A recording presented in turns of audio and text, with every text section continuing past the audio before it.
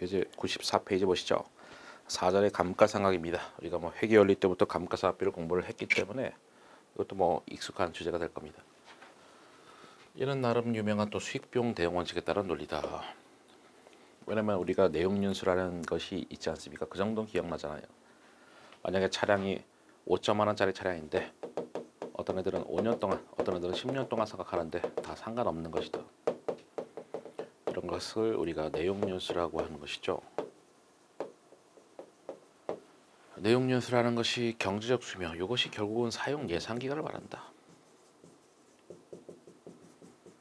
몇 년 동안, 그러니까 돈 되는 기간을 말하는 건데 그것이 결국 몇 년 동안 사용할 거냐. 그 얘기가 결국 수익 창출 예상 기간과 뭐 같다라는 것이죠.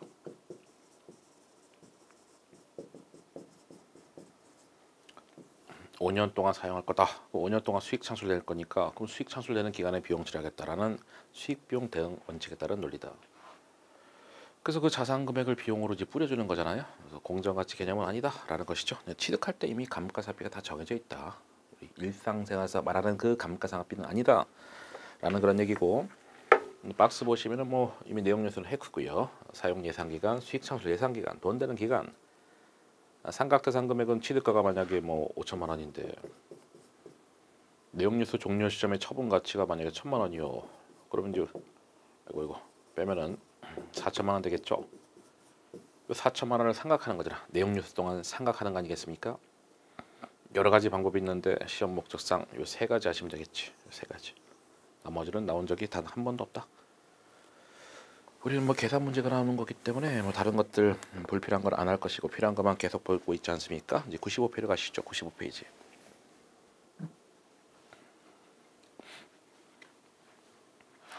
어, 정해법은 취득가 빼기 잔존가치 나누기 내용 뉴스가 되겠죠. 그래서 뭐 너무나 쉽잖아. 이거는 뭐 더 할 거 없죠. 이 삼각 대상 금액을 내용 뉴스 동안 N방에서 시간에 비례해서 생각하는 거니까 N방에서 쫙 비용 처리하는 것이죠. 그래서 매기 같은 금액 생각한다. 어쨌든 시간의 흐름에 따라 생각. 뭐 더 이상의 부연 설명 필요 없죠.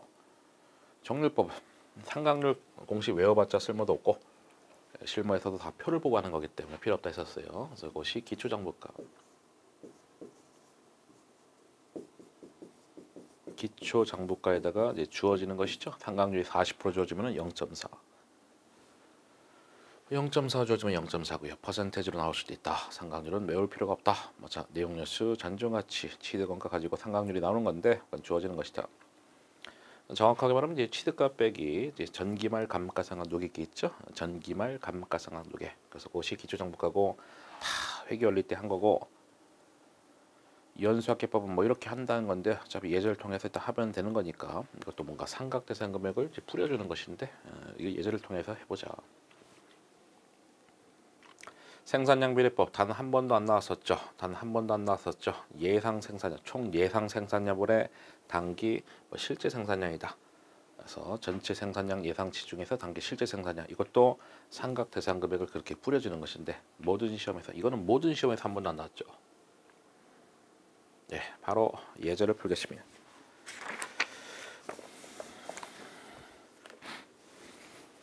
첫 번째 예제는 뭐 그냥 회계 원리 수준의 예제입니다. 그래도 뭐 빠르게 복습을 하는 게 좋겠죠. 그래서 쭉 데이터가 줘졌고 정액법은요 취득가 빼기 잔존 가치 나누기 내용요소 됐죠. 매년 같은 금액 상각이다. 정료법은 기초장부가 곱하기 상각률인데 첫 해는요. 첫 해는 기초장부가가 사실상 취득가랑 같겠지. 왜냐면 기초장부가가 취득가 빼기 전기말 감가상각 누객인데 첫 해는 당연히 전기말에 상각된 게 없으니까 취득가 자체가 기초장부가고 거기다가 주어진 상각률 때리면 된다. 45.1% 주어지면 그래도 0.451 퍼센테이지로 나올 때도 있고 소수적으로 대놓고 나올 때도 있고 그렇게 해서 해고 그 다음에 2년 동안 취득가 빼기 전기말 감가상각 두개 이렇게 해서 동일한 상각을 때려서 한다. 뭐 이렇게 하는 게 정렬법이고.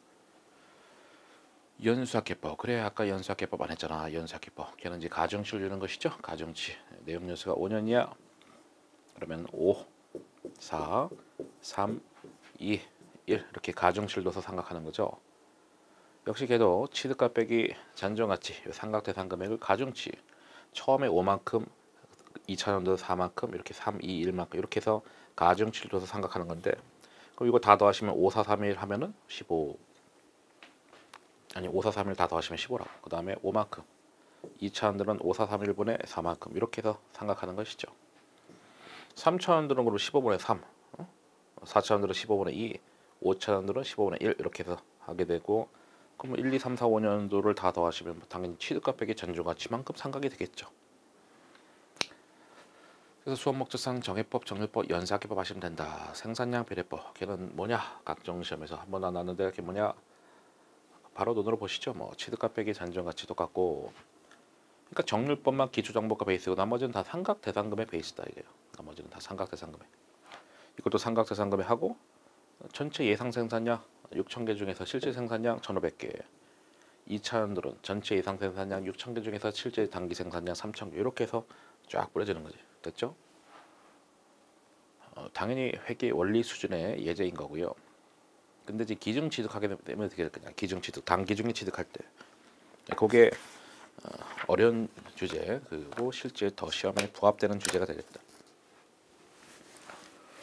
글씨 보지 마시고 바로 이제 해보자. 뭐 글씨는 뭐 이거요. 뭐 일단 뭐 1년치 생각하고 뭐 뿌려준다 했는데 뭐 문제 뭐 풀면서 해보겠습니다. 단기 중에 취득했다는 얘기가 뭐 7월 1일 날 취득했다, 4월 1일 취득했다, 뭐 그런 것들 말하는 거죠. 그래서 제가 정해법하고 정률법 두 가지 방법을 보여드렸고 연수학기법은 한 가지 방법 보여드렸는데 연수학기법은 한 가지 방법밖에 없고 풀이 방법이 정해법 정률법은 둘 중에 편한 걸 하시면 되는데 그럼 제가 둘 다 설명하냐? 아닙니다. 더 좋은 방법으로 설명하면 되는 거잖아. 굳이 제가 둘 다 설명해서 여러분 혼란스럽게 하면 이야씨 뭐 시험장 가면 뭐로 풀까 괜히 고민되잖아. 그래서 한 가지 방법만 설명드릴 겁니다.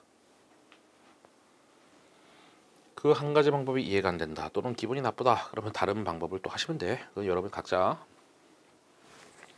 정액법 컨셉이 시간의 흐름에 따라서 이제 상각하는 그런 컨셉이잖아요. X 1년 초에 취득했으면 뭐 매년 똑같은 금액 상각됐겠지만은 X 1년 초 취득 안 하면은 다른 거지. 언제가 첫 해가 다른 거야. 첫 해가. 취득가 빼기 잔존가치 오케이 하고 나누기 5. 그래서 이렇게 되면 이게 1차 연도잖아요. 그래서 바로 해보죠 여기다가 이렇게 또 친절하게 써놓으니까 잘 안 보이잖아요. 취득가 빼기 잔존가치 한 다음에 뭐 나누기 5를 하든 곱하기 5분의 1을 하든 뭐 같은 거죠. 여기도 마찬가지. 이렇게 되면 이건 1년 전체잖아요. 어디가 달라지는 겁니까? 첫 해만 달라지는 거지. 12분의 9 계산하면 얼마 얼마 이렇게 하면 되는. 야 12월 9가 어디서 나왔냐? 4월 1일부터 12월 말까지.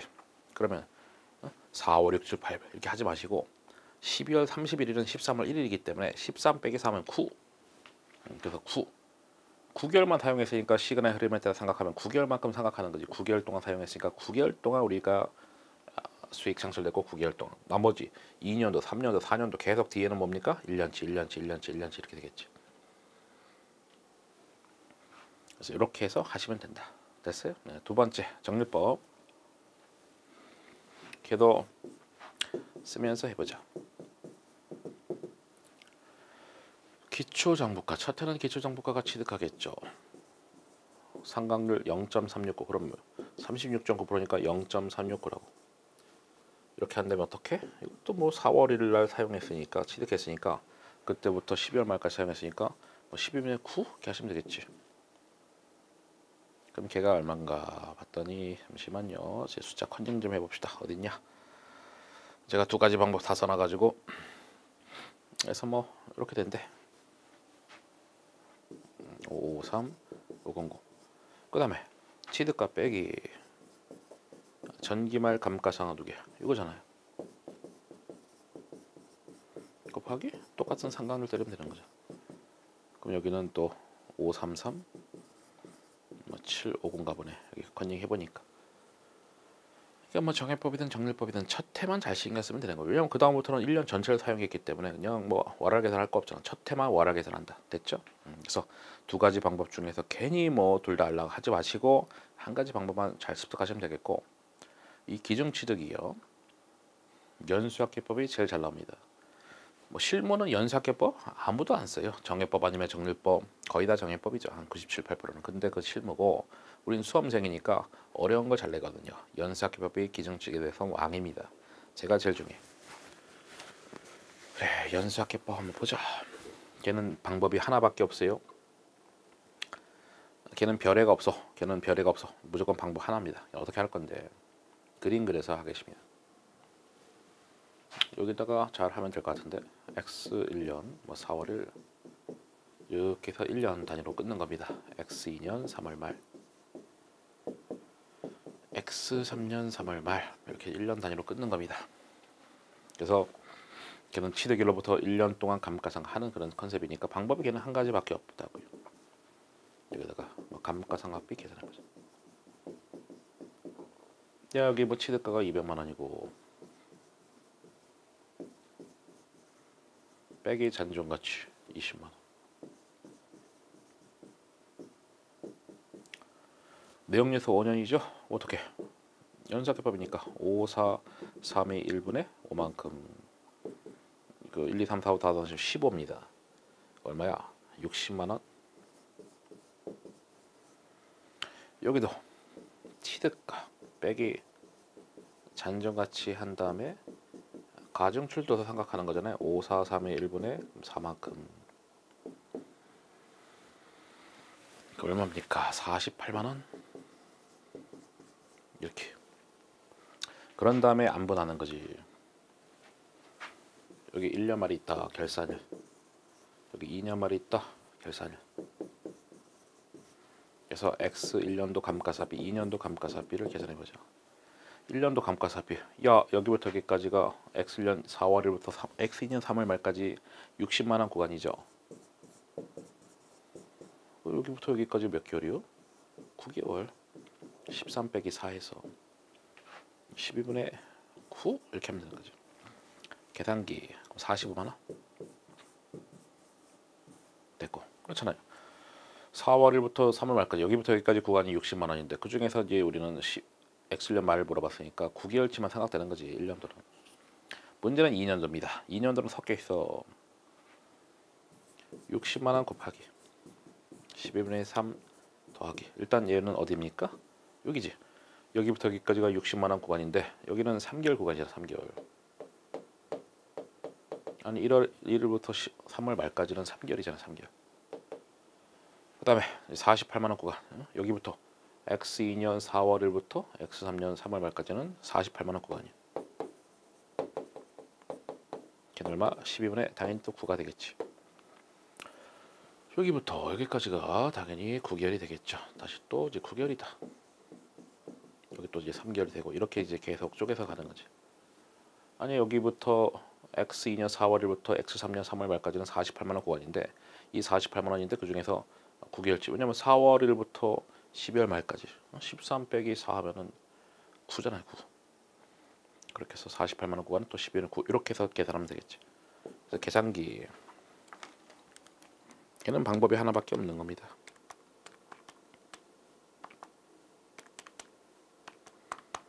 그럼 51만 원? 45만 원, 51만 원. 숫자 검토해 보겠습니다. 맞죠? 네, 그렇게 해서 걔는 반드시 마지막 조에도 써놨지만 별의 같은 거 없다. 반드시 1년치 감가상각비 계산해서 그림 그려서 한 다음에 배분 쪼갠다 이겁니다. 걔는 방법이 오로지 하나밖에 없다. 그래서 최근에 연수학계법 기준 취득이 잘 나오고 있습니다. 그러니까 잘 하셔야 돼. 잘 하셔야 돼. 그래서 취득일로부터 1년 단위로 끊어서 계산한 다음에 그 다음에 결산을 딱 끊어가지고 이렇게 배분하고 됐죠? 예. 손상합니다. 아, 예제부터 풀겠습니다. 예제. 예제부터 풀고 나서 이런저런 얘기를 하겠습니다.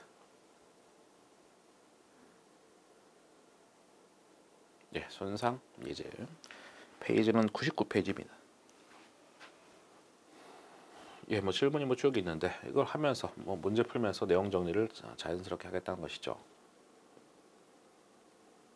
예, 뭐 여기다가 조금 이제 조그만 글씨로 데이터가 4년까지 주어졌어요. 1년 말, 2년 말, 3년 말, 4년 말.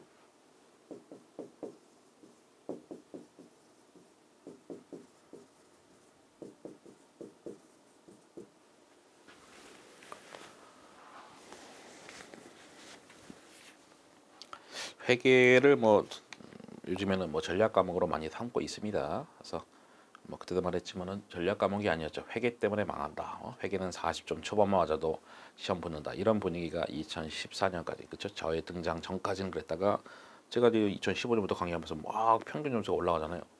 하고 싶은 얘기는 딴 게 아니라 그럼 이제 그 와중에도 어? 전략 과목을 이제 회계학을 많이 삼는 이 와중에도 회계가 정말 미친 듯이 어렵다고 생각되는 사람도 있을 겁니다. 근데 반복만이 살 길입니다. 저는 최근에 뭐 최근이면은 정말 뭐 몇 달 전이죠. 어, 합격자 그 간담회 이제 거기 갔더니 뭐 이런 분이 있었어. 막 그 뭐 반갑게 뭐 인사하시더라고 어떤 분이 여자분이 모의고사 반을 들었다. 어? 이제 시험 보기 몇 달 전에 모의고사 반이 있잖아요. 오프라인 강의. 거기서 33점 맞았대. 근데 최종적으로 90점 맞았다고. 이야 이게 있을 수 있는 일입니까? 그 자기가 충격 먹고 이제 모의고사 반 전에만 하더라도 그냥 뭐 그냥 뭐 어떻게 하면 되겠지 이런 입장인데 33점 맞고 거의 거의 꼴찌하니까 모의고사 반은 뭐 되게 많아요 사람 막 항상 마감되니까 엄청 많죠. 근데 거기서 거의 꼴찌하니까 충격을 먹은, 거지. 그럼 저는 또 심지어 자극도 줬습니다. 물론 그분한테 자극 준 게 아니라 아 여기서 모의고사 반에서 50점이 안 되면 희망이 없다. 이렇게 자극을 줬지. 또 까칠하지 않습니까? 그랬더니 이제 뭐두달 만에 뭐 이렇게 60점을 올린 거지 쉽게 말하면 33점이 90점이 된 겁니다. 수석이 95점인데 회계학이 예, 거의 뭐열 손가락 안에 드는 점수가 되겠죠 아마도 음, 엄청나게 자 그런 분이 있다는 거예요. 그러니까 자기는 그냥 열심히 했대 회계 너무 이제 충격 받아가지고 그래서 저도 놀랬죠. 야 그런 사람이 다 있냐 한데 저는 앞에서 밥을 같이 먹었잖아요. 간 다음에 뭐 호텔 같은 데서 밥 먹는 거거든요. 대화하고 그래서 뭐 그런 분이 있었습니다. 최근 일입니다. 최근 가장 최근 일입니다. 만 원 주고 샀다. 그러니까 희망을 가지시라고 연습만이 살 길이다. 그분은 두 달도 안 돼서 두 달도 안 됐지 뭐 모의고사 반이 뭐 시험 보기 뭐 거의 한 달 반 전에 이제 시작되고 이런 거기 때문에 뭐 한 달 반 정도 동안에 거의 60점 가까이 점수 올린 겁니다. 희망을 가지시라. 근데 그게 다 되는 게 아닙니다. 다 되는 게 아니요. 그렇게 미친 듯이 열심히 한 사람은 되는 건데 그냥 뭐 적당히 있으면 되겠지. 아닙니다. 아닙니다. 정계법 삼각해서 10년 동안 삼각했다. 그럼 이제 나누기 10으로 해서 뭐 아무 일이 없었으면 천 원만큼 감가사비가 인식됐겠죠. 장부가는 9천, 8천 이렇게 계속 갔겠지. 이거 풀면서 내용 정리 안 됐었죠. 천 원만큼의 감가사비죠. 그래 뭐 익숙한 그림이다. 장부가 그림. 근데 아무 일이 없는 게 아니라 무슨 일이 생긴 거잖아요. 2년 만에 자산의 가치가 급격히 떨어져서 2년 만에 손상 손상이 뭡니까? 자산의 가치가 급격히 떨어졌을 때 자산을 까고 비용 처리. 감가사비도 그런 개념이잖아. 자산을 까고 비용 처리. 좌변의 감가사비, 대변의 감가상, 누계계서, 회계원리 때 다 공부했었죠. 항상 회계에서는 자산의 가치